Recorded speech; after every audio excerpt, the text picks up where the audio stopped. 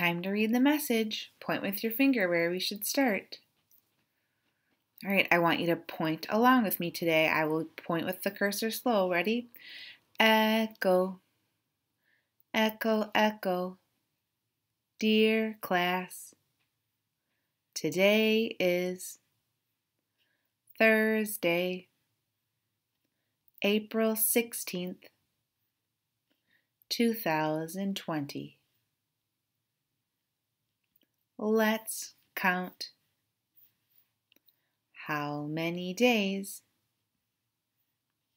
so far in April? All right, today is the 16th. Count with me. One, two, three, four, five, six, seven, eight, 9, 10, 11, 12, 13, 14, 15, 16. 16 days so far in April. Let's wish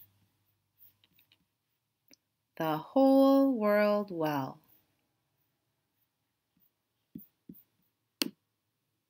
Make your hands like a heart or give yourself a hug and sing with me. We wish you well, oh, we wish you well. All through the day today, we wish you well. Send everyone some happy thoughts, some healthy thoughts, and some safe thoughts. Later, we'll read Dragons Love tacos. We'll also sing Five Little Ducks. Let's have a great day. Love your teachers. All right, before I say goodbye, take a look at the message one more time.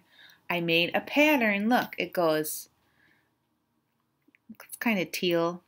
Teal, dark purple, and then light purple. Teal, dark purple, light purple. Teal, dark purple. If we had something else after the end, it would be light purple. Go back and look at yesterday's message and see if you can find the pattern in that one, and I'll make it different tomorrow. Bye.